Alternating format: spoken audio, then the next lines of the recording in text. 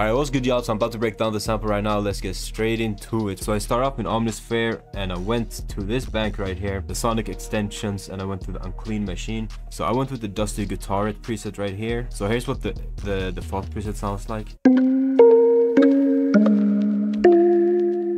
So there's like all these uh, like options here and inside of each preset you got five presets. So, so this is like the original, then you can go over to the second one.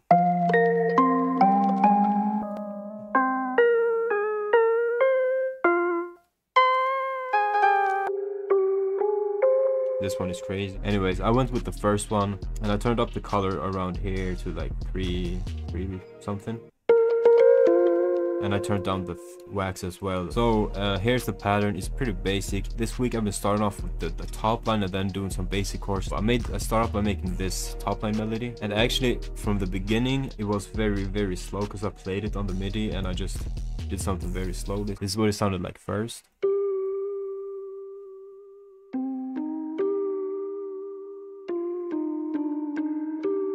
So I just played something very, very simple on the MIDI with one hand, you know, nothing crazy. And then after that, I highlighted everything and I shortened it like this. So it's twice as fast.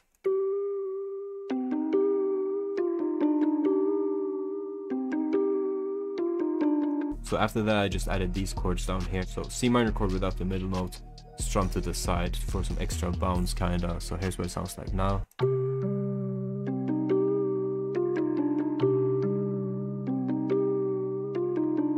And then for the second part, I just took the chords and pitched them down five semitones, but I kept the top melody in the same place. So one, two, three, four, five.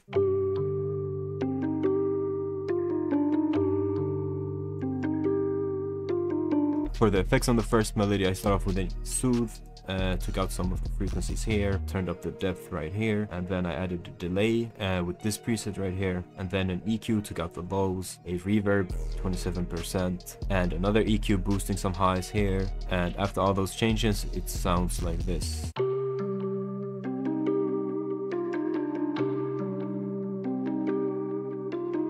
I got some ethnic vibes from that little melody, so I went to Kontakt and I grabbed a flute. This is the soprano recorder inside of SignWinds Pro. Yeah, I came up with this pattern right here.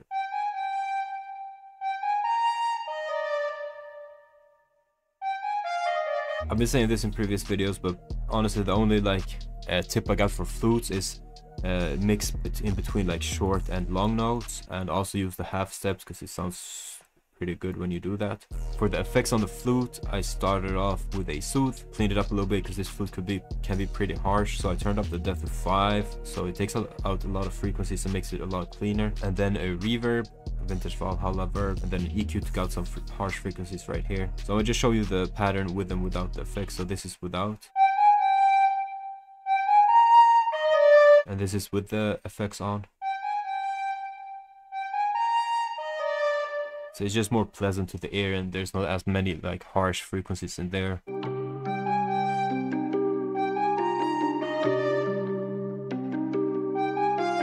So I'm not gonna lie bro, after these two patterns right here, the sample sounded pretty full and I didn't like want to add too many like too complex sounds with this because it sounded pretty like full to me. So I just went into say Quizzes Cassiopeia one shot kit right here. I grabbed this one right here. And I grabbed this one right here. And then I duplicated the first one down here, pitched it up a whole octave. So now it sounds like this. So now we get these three.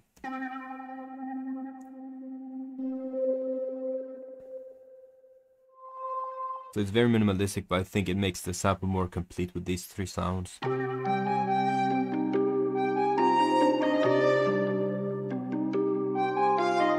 Just some nice sounds in the background just to make the sample sound a little bit more full and like complete. So yeah, that's everything for the first part. For the second part right here, I kept the Omnisphere pattern and I added another Omnisphere. And this is the ambient trees inside of the undercurrent bank. Also from the Sonic extensions. So there's also got the, all these knobs that you can mess around with to mess around with the preset. And it also has like five built-in preset in each preset in, inside of the bank. I just made this pattern to like switch up the vibe of the flute because this is more like a dark kind of pattern. So I thought like the flute would be a cool intro or something.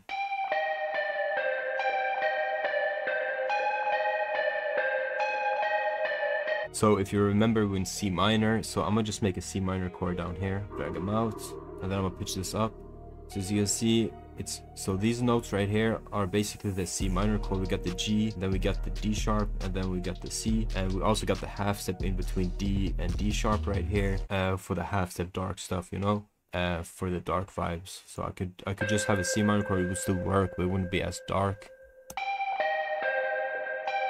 So I had that repeat twice and then I just duplicated it over right here, right here. But I took the top note, the note that was here and pitched up another half step so it doesn't get as repetitive and as, as boring. So as you can see, it kind of switches up the whole energy when the top note is going up a half step right here.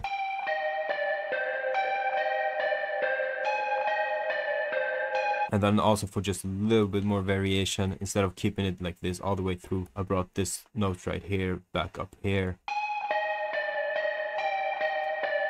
So it's very simple. It's just this really, and then I just did this note over here, and I just did this note at the end.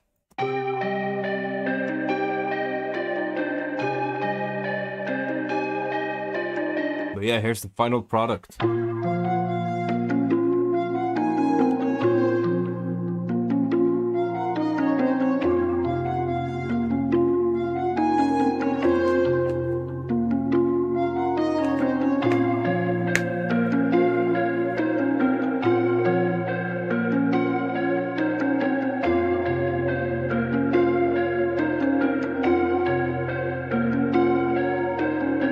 But yeah man, that's pretty much it for the video. Hope you enjoyed it. And if you did, leave a like, comment, and subscribe.